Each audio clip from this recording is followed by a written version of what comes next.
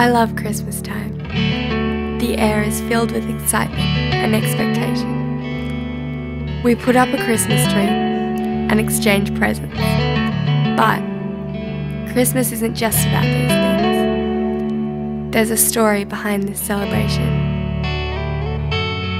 A story about a king. His name is Jesus.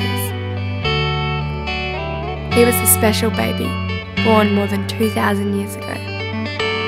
And Christmas celebrates his birthday.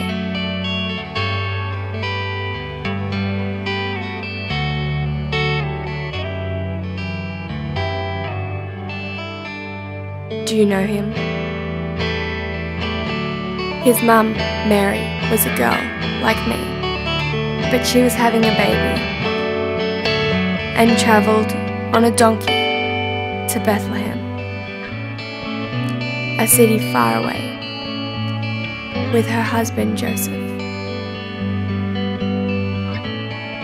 Her baby, Jesus, was born in an animal stable and slept in a cattle trough for a bed. Jesus was no ordinary child. An angel had told Joseph, in a dream, that God's Son would be born, and he should name him Jesus.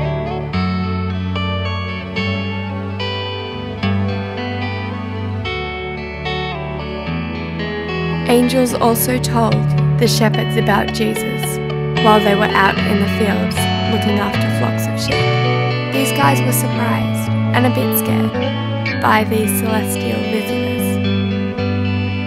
God set a star in the sky to mark the place where Jesus, a new King of Peace, would be born.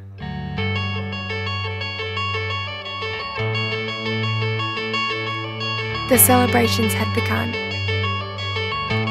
The shepherds saw the baby in the arms of Mary. Maybe they even had a hold of the one sent down from heaven. He didn't look like much, just a little baby. But they knew he was a king.